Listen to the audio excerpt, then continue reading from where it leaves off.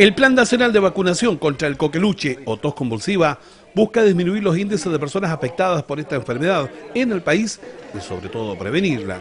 Por ello, el subsecretario de redes asistenciales, Luis Castillo, indicó que si bien se han producido casos aislados, lo importante es impedir que más personas enfermen por esta complejidad, cuya letalidad es alta.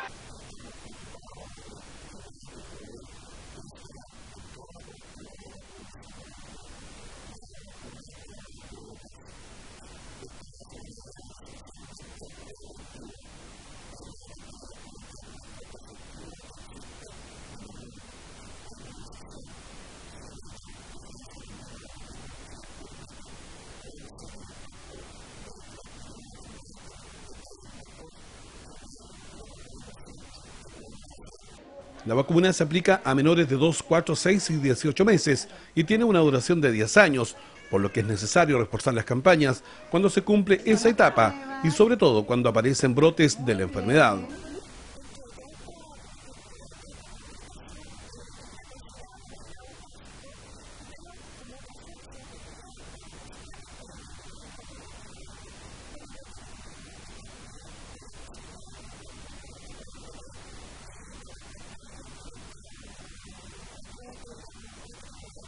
También se hizo un llamado a las madres de recién nacidos para que se vacunen en contra de esta complejidad antes de vacunar a sus propios hijos. 13.000 niños de octavos básicos en la región recibirán las dosis contra el coqueluche, tal como lo hicieron alumnos de la escuela Inés Gallardo en Yanquihue.